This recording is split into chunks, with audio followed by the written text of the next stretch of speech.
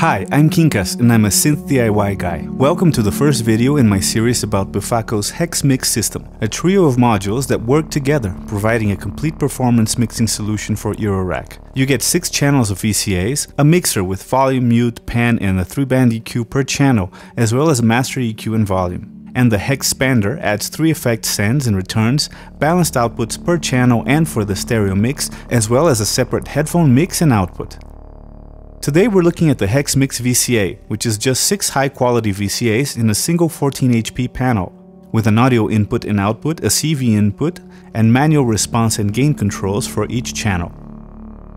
It can be normal to the Hexmix via ribbon cable on the back, but it can also work as a standalone module if you just need a lot of VCAs in a small footprint. In the box, you get absolutely everything you need to build it pots, knobs, jacks, the PCBs, a nice black panel, screws and spacers, power cable, and all of the resistors, capacitors, transistors and diodes. Everything neatly organized in baggies, labeled according to the build guide, so you can easily follow the included instructions. The main PCB comes with the SMD components already soldered. You also get a cool Befaco sticker. The instructions are super clear, do follow them carefully. Let's build it. We'll start with the main board. As there are no standing resistors, you can go ahead and place them all on the board along with the diodes, and then solder them all at once from above, only having to flip the board one time to clip the leads. The resistors are numbered sequentially according to their placement, which makes them very easy to locate.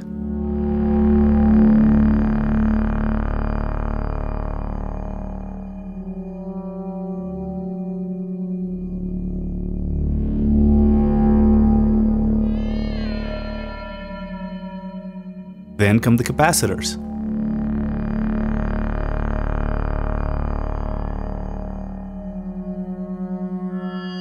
Next, place and solder the transistors, minding their orientation, followed by the male pin headers and the trimmers. Lastly, solder on the power connector. Same procedure goes for the control board. Start with the resistors, then the caps, followed by the IC sockets, the mini slide switch and the female pin headers. Next, attach the expansion connector and the spacers. Remember to place the jacks and pots but not solder them until you have aligned them to the hose on the panel. Once everything lines up, solder the panel components, cut off the excess legs off the mini jacks. Place the ICs in their sockets, carefully checking their orientation, attach the main board to the control board, lining up their headers, and tightening the screws in the spacers. Put knobs on the pots, check the power rails for shorts with your meter. Connect the power cable and plug it in. Calibration is simple. Check the manual, it's a single trim pot adjustment for each VCA. Alright, here we go. This is the demo patch for the Hexmix VCA. And here it is right here. And I'm sure you've probably heard somebody say you can never have too many VCAs. And the reason people say that is not because you need a whole bunch of voltage controlled attenuators for voices, which you probably do anyway, but the reason you'd want a lot of VCAs is because one of the funnest things to do with modular is to modulate your modulations.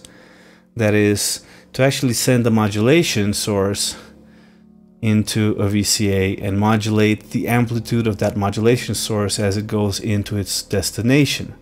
So that's that can be a lot of fun. So I made a patch that does that. I'm actually using three VCAs, which are three and four and six for audio, for voices. So there's only three voices in this patch happening right now. The other three VCAs are modulating modulation sources. So let me explain. We have one voice made up of an oscillator going through a filter going through one VCA. And then another voice is another oscillator going through a wave folder, the over folder, going into a, another filter and then back to another VCA right here. And then we have another voice, which is a drone voice, which is the braids and vowel mode going into this VCA right here. And these are normalized to three channels of the Hexmix, which are channels 3, 4, and 6 right here. They're turned on. And they're the voices, they're the actual sound sources that I'm using. Now I have these cool new Sonic Potions envelopes. They're just decay envelopes that I'm going to be reviewing very soon. And I'm using these for the first two voices. So the first two are modulating the amplitude of VCAs 3 and 4 for my two normal subtractive type voices, right? The other two, one is modulating the filter for voice number one, and the other one, the bottom one, is modulating the folding for voice number two. Now, here's where things start getting interesting. The drone is the vowel mode in braids, and I'm sending a fast LFO to the timbre input, but it's going through a VCA, VCA5 right here. And I have a slow LFO. Both LFOs are coming from my fixed sine bank. The slow LFO is modulating the VCA that lets pass, that's controlling the amplitude of the fast LFO as it goes into the timbre input of the braids module. So you're gonna hear this fast modulation fade in and out, phase in and out as the slower LFO opens and closes this VCA. So that makes for a really cool kind of drone. It's the low drone that's setting the key for everything else that's happening. Now, here's the other cool thing is I have two sequencers, the Lizard 2 and the 8S sequencer, both synchronized to the same clock. And I actually have two clocks going, two possible clocks on my AB switch here. One, the pink cable, is the swamp module clock, and the other one, the white one, is one of the LFOs in the multi LFO up there. And right now it's in the middle position, which is off, which is why you don't hear anything. So when I say once I switch this to one of the clocks, it'll start triggering my four envelope generators, and it'll set the sequencers in motion. And now both sequencers are going into VCAs, one and two. And from there, they're going into two channels of the Ornament and Crime in quad quantizer mode, which I think is called Quantermain, right? And those are going into the voltage per octave inputs of my two oscillators. And I'm using a minor pentatonic scale, which I think is a nice sounding scale, so things sound nice and consonant all the time. And these two VCAs right here, which are attenuating the output of my sequencers, they're being controlled by the rampage. Both sides of the rampage are generating these slow ramps that go up and down. So when the rampage is down on a low voltage, you will get very little of the sequencer voltages going through. So you get very small note variations in the Ornament and Crime. So you hear melodies that are notes are very close together, very linear. As the ramps go up and the VCAs open up more, you get wider note variation. You get closer and closer to the actual sequence that's programmed on my on my two sequencers over there. And that's those are really slow, so this is very gradual as you hear it. Much more interesting than just the eight notes repeating over and over again forever, you get this interesting kind of linear organic variation. And it's always going to sound in tune and musical because it's going through the quantizer. So I think that's it. I think I've explained the patch. I hope it's understandable. Let's play it.